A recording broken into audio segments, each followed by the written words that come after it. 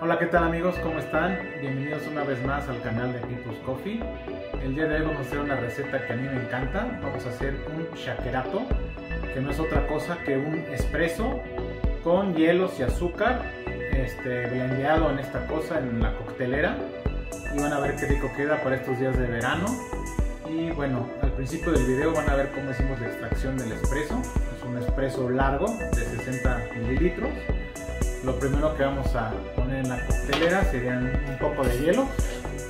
Aproximadamente, depende del tamaño de sus hielos.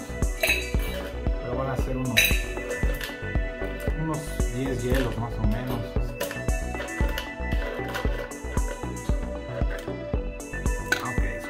Hielo. Inmediatamente después el café. Ok. Y eso ayuda a que se enfríe rápidamente y se pueda disolver el azúcar. Aquí está. Vamos a colocar esto, que es la tapa. Y luego ya podemos cerrar muy bien y agitar. Hay que tener un vaso frío o una copa de martini enfriada. Nosotros lo dejamos en el congelador para destapamos nada más esta tapita y van a ver la delicia que se va a vertir en el vaso. saca una espuma muy bonita, muy parecida a la crema del espresso. Muy bien amigos, pues espero les haya gustado esta receta.